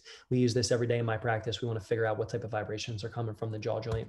Um, here's CBCT of her airway, obviously very underdeveloped. Um, a lot of you guys probably aren't used to looking at these things, but you know this is stuff that I look at uh, every single day, and I can uh, you can trust me when I say that red in the back of her throat. That means that she does not have enough room back there. Uh, we saw deviated nasal septum. We saw hypertrophic turbinates. Um, we know that challenges to, to having success with oral appliance or nasal obstruction and, and BMI. Uh, the more nasal obstruction, the, the fatter people are, the harder it is to have success with oral appliances when it comes to sleep apnea. So we have diagnosis. Um, one of the conversations that I had to have with Lauren was, hey, I'm a little bit suspicious that you might have an underlying sleep breathing disorder. She said, "What are you talking about?" I said, "I would like to. I would like for you to get tested." So we sent her to the um, sleep physician, and guess what? Sure enough, we did a home sleep test for her. She came back and she's positive for sleep apnea. She has she stops breathing seven and a half times per hour. On her back, she stops breathing 11 times per hour. Her oxygen desatted to 86%. That's not normal, guys. Our oxygen needs to be above 95%. Okay, so we have a new diagnosis in her treatment plan. We actually found that she has obstructive sleep apnea. I'm not going to go over my treatment plan. I'm going to let Lauren you take a look at this. Here's cool, uh, nice little um, uh, images of the airway. So that's uh, on the right side is with my appliance in, on the left side is without the appliance in. Can you see how much bigger and better her airway is now? Um, and here's the thing uh, I know a lot of dentists, dentists are starting to get involved with um, sleep apnea and things like that. You know me and my my team of people we don't really protrude the jaw too much. We don't put any any additional stress on the jaw joints. Um, so you can see here we did we've done studies on this. Uh, my mentor has a few papers out um, in the literature that show that uh, george gauge um, which, which is pushing the jaw out forward is actually can be ineffective. And so we use a different type of bite technique at my office um, called the phonetic bite technique. And you can see how much better this airway is. And you can see those teeth are not edge to edge. They're not there. We have to understand how uh, the three dimensional airway works. And so we use a lot of cold laser therapy um, in my office. Um, we, we have this thing rotating on a, like clockwork. We are reducing inflammation in our patients. Um, my lead assistant's actually really mad at me right now because my wife just got done with her uh, airway development and she has one of our lasers at home here. And so she's been lasering the heck out of her uh, face, um, helping her heal uh, quicker. Um, so I'm gonna I'm gonna jump to it. We were able to help her out a ton. We were able to get rid of her sleep apnea. We were able to get rid of her jaw pain, um, but nobody tells it like Lauren does. Um, so I'm gonna let her tell you her story. Hi, everyone. My name is Lauren, and I'm a patient of Dr. Robinson and have gone to the Pain and Sleep Therapy Center. I have been seeing Dr. Robinson as my dentist for my whole life. Uh, recently, this past year, Dr. Robinson and I uh, were discussing my TMJ issues a little bit more. I have pretty severe clicking on both sides of my jaw, and it's not too painful, but it's definitely something that concerns me and something that we've always kind of had our eye on, um, but that we really wanted to start investigating um, more, you know, this this previous year. So Dr. Robinson was going to fit me for an oral appliance. And he thought it would be a good idea if I also took an at home sleep test um, to see if there was maybe any other issues going on um, besides my TMJ. And I kind of, you know, was hesitant at first, like there's no way that anything else is going on, sleep apnea, anything like that. Um, so I took the at home sleep test. It was super easy, it's super simple to do, um, just like any normal night's sleep. Um, the machine is super easy to use. Um, it doesn't really disrupt you during your sleep, which is really nice. Um, so I took the took the test. Then we got the results, and to all of our surprise, um, we found out I did have very slight sleep apnea. So, um, in addition to my TMJ issues and the sleep Mm-hmm. apnea, we um, decided to build me this oral appliance that would help correct both of these issues. Um, so, my appliance sets my jaw forward a little bit at night to open that airway to help with my sleep apnea. And it also takes pressure off of my jaw um, so that I'm not waking up each morning, um, you know, in a lot of pain from clenching down, um, you know, or feel that additional pain just from sleeping or clenching. Um, so I'm super happy that I went to Dr. Robinson, told him about my issues. Um, although it didn't seem severe at first, we learned that it was a little bit more severe than we thought it was. Um, I also think that you don't really know um, maybe what a bad night's sleep is like until you've had a really good night's sleep. Um, I thought I was, you know, healthy, sleeping fine, sleeping throughout the night. Um, but now with my oral appliance, I really feel like I'm getting a lot um, more quality of a night's sleep too. Um, I feel a lot more rested and happier throughout the day, probably because I'm feeling more rested. Um, so I'm super thankful to Dr. Robinson and his team for helping me out. Um, they're all super friendly. I loved going into the office and talking to everybody. I really felt like everyone truly cared about me, um, you know, what I was feeling, what symptoms I was going through, and all of that as well. Um, so I'm only 25. I'm really super happy that I took control of this problem early um, and that things are not going to get you know worse for me or deteriorate over time um, that i'm really taking control of my health and uh, doing what's best for me so thank you so much dr robinson and his team you guys are so awesome and i appreciate you a lot thanks a lot Cool. So that's from Lauren. Um, obviously, we have a lot of technology at our office. Uh, again, I'm going to wrap this up. Pearls to doing what I do on a daily basis is I got to control patients' inflammation.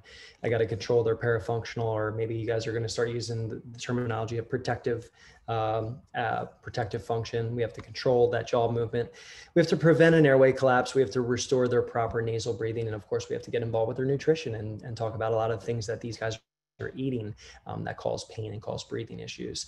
Um, so how early do we start this? Um, hopefully you guys got a little glimpse of it. I have a great YouTube lecture on, um, I have a great lecture on my YouTube page uh, where you guys can go and earn more CE credits if you enjoyed this one tonight.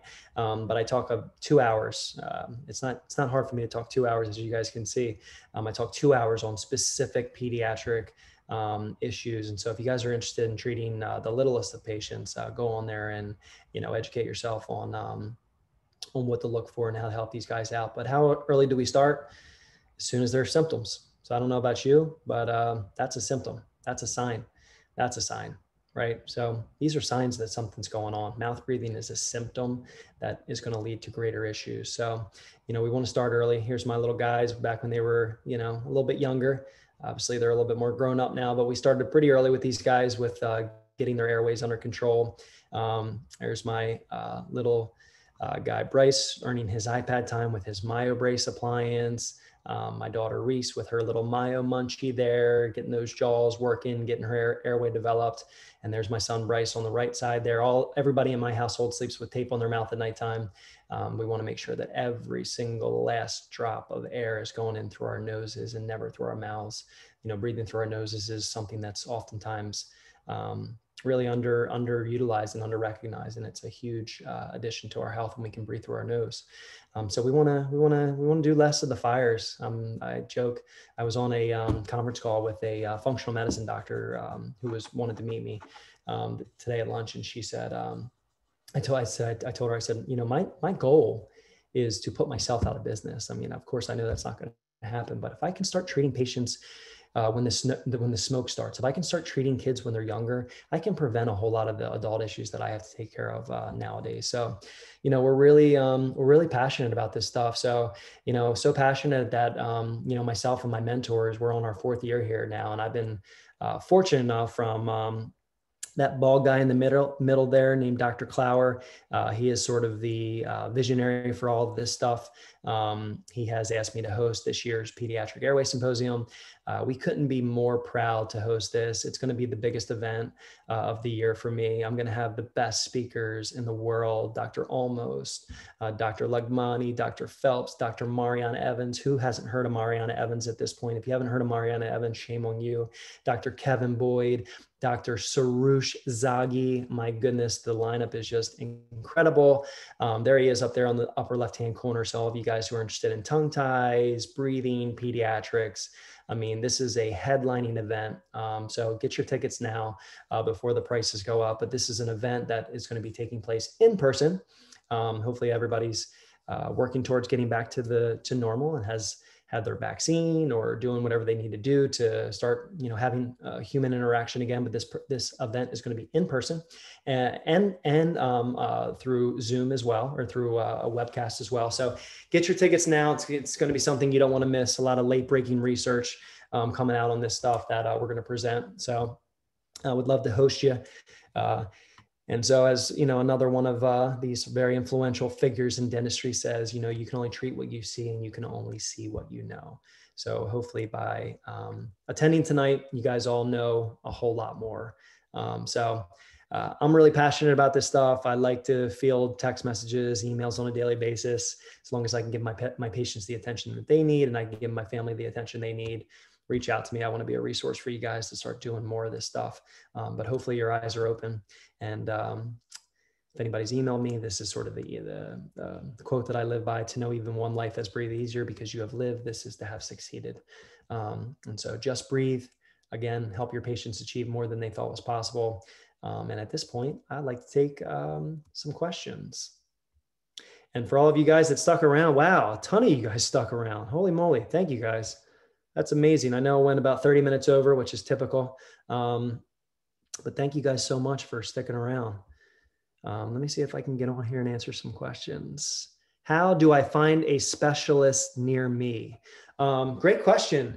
Um, you got to do some, you got to do, do your own ho- homework. So, um, depends on what you're looking for. If you're looking for someone like me, you probably need to go find someone that is credentialed, like board certified through the American Board of Craniofacial Dental Sleep Medicine. That's probably the one of the uh, board certifications that I'm most proud of. That kind of gives me an interdisciplinary look at both uh, pain and airway.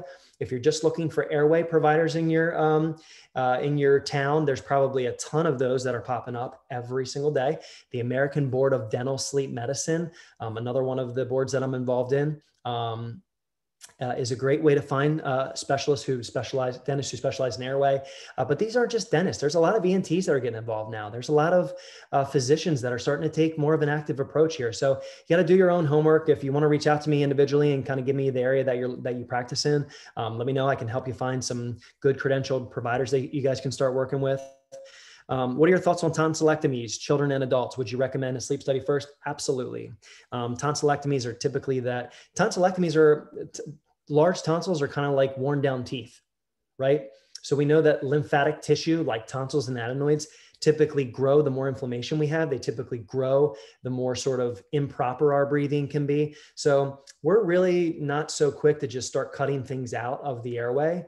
Um, we we want to understand what caused it in the first place. So you know, is it does the, the kid have a guinea pig that that sleeps you know that that is in the room with the kid sleeping? Is the, is the kid allergic to a cat? Is the kid having dairy consumption? We've seen a lot of great success. When we start working with kids nutritions we can actually decrease tonsil and adenoid size quite a bit. Um, but yeah i mean a lot of a lot of our patients get tonsil tonsillectomies and adenoidectomies um, but just we got to get some more information first. You know we got to figure out why why did they get big in the first place um, so that's what you want to ask your patients. Is it detrimental to inhale through the nose while exhaling partly through the mouth while ex- exercising. Um nah eh, not really. Like we're humans right? So we're we're we're made to be able to compensate. We're made we're made to be able to adapt. And so um, i tell people like you know get on the treadmill put it up to 6.5 if you have to start breathing with your mouth at 6.5 that's probably a problem. We need to go see a provider like me who can do a comprehensive examination and figure out why you need to breathe through your mouth. But you know when we're in the middle of a high intense cardiovascular activity like i'm a big peloton guy Um, I ride the Peloton almost every morning. Um, I get I get into it. I breathe through my mouth. You know, we can we can afford mouth breathing for an hour, two hours a day. It's the it's the patients that breathe through their mouth all night long, seven hours of mouth breathing at nighttime. It's the patients that breathe through their mouth during the day. These are the these are the, the patients that we need to retrain. Um, what does the appliance Lauren use is called and look like? Lauren uses a ton of appliances. Um, man, she uses a, a, ton of different appliances. Uh, we're big on MyoBrace. We're big on expanders. We're big on trainers. We're big on shoes. There's a lot of different things. Um, and I, I, want you guys to understand it's not really about the appliances that we use. It's more about the provider that's behind it. Lauren has such a, a depth of knowledge to the to the, the, the way that she practices that you know she she has a whole uh, a tool belt and she pulls out the right tools for the right patients. Um, so don't get stuck on you know what we use. Um, really challenge to figure out what is appropriate for that particular patient. Um, hopefully that has cleared up some of that. So i hit all the q and a's in the box there. Let me go over to the chat box. Um, i'm to work um, i'm going to work from front to back okay cool. I think i can get through this.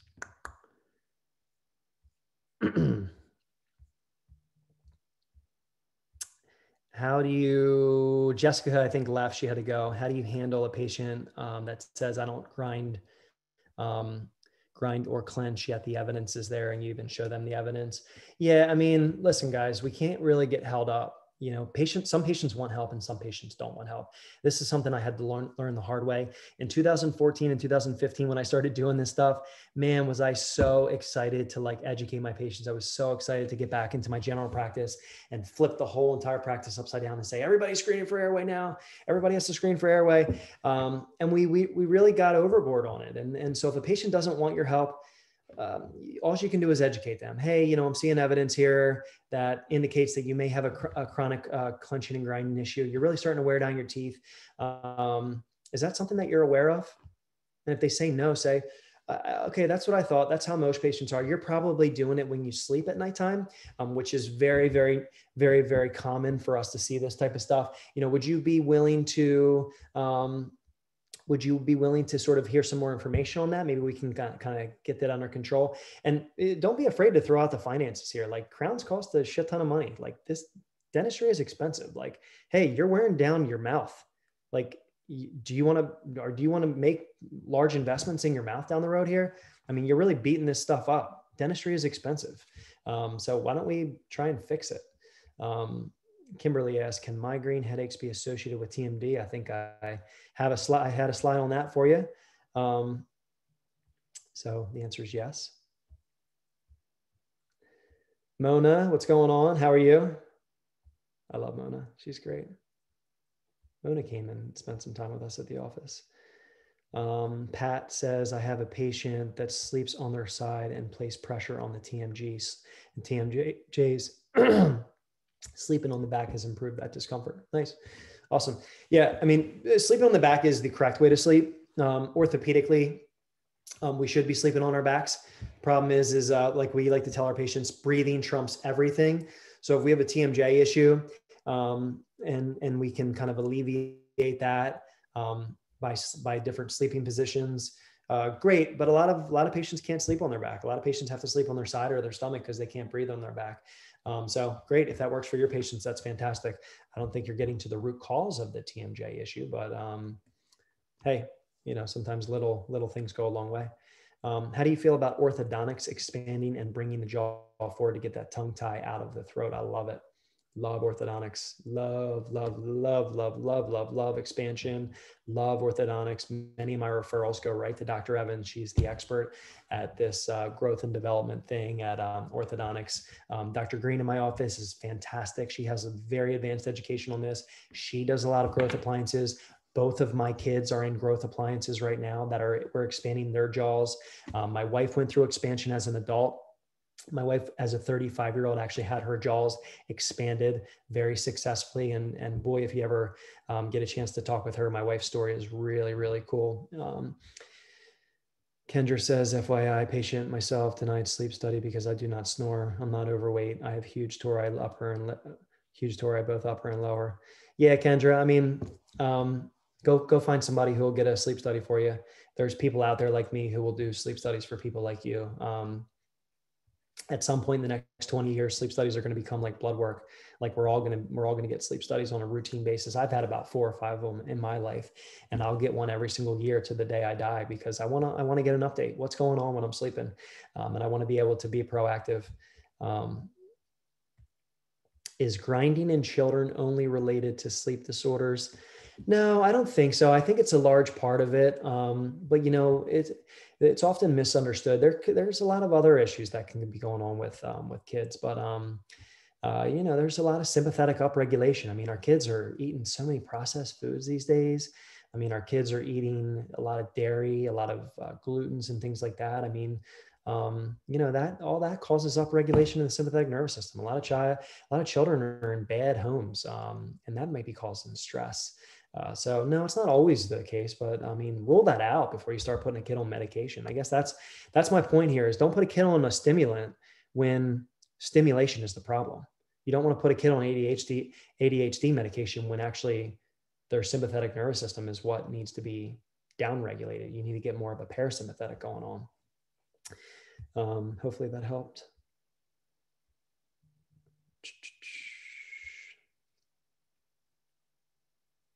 How do you make money running a TMD clinic?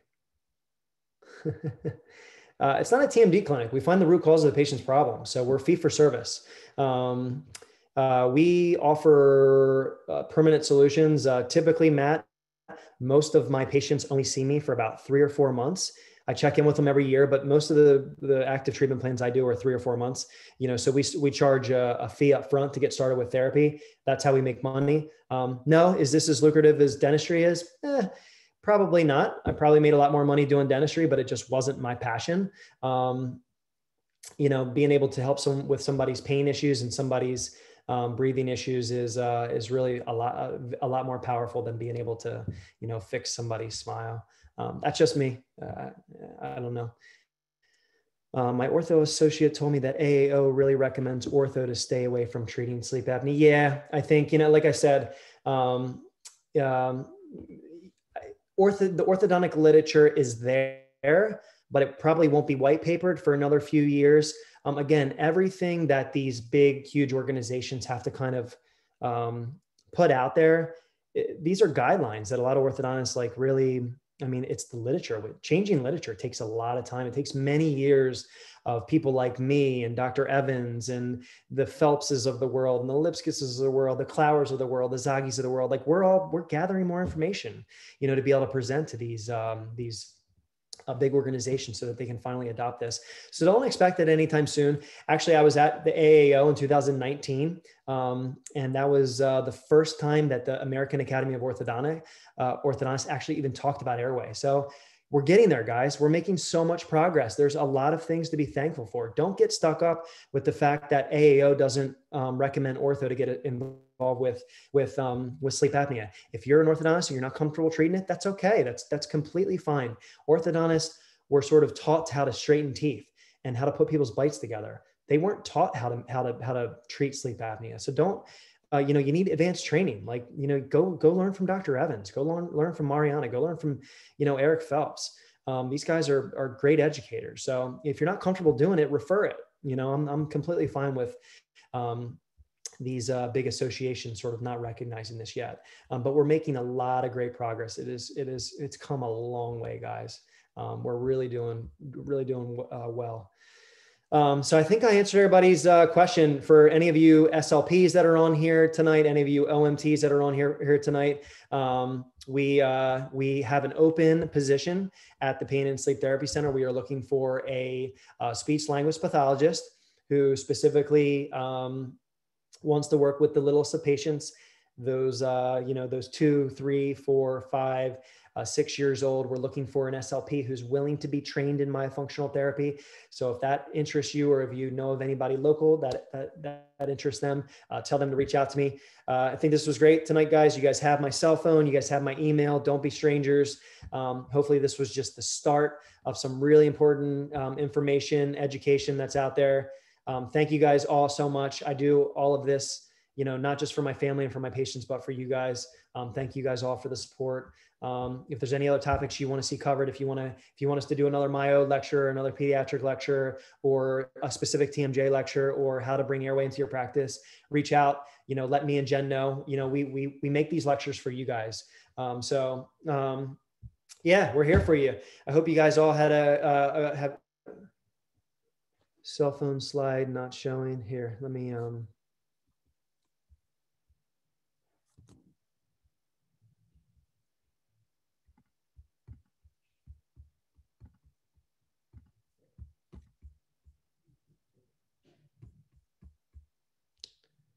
There it is. Contact me anytime. There's my cell phone 302 547 2982. All right, guys. Thanks so much. Everybody have a good night and uh, screen your patients tomorrow. All right. See you guys. Yes, CE credit is available. Email Jen. Email Jen.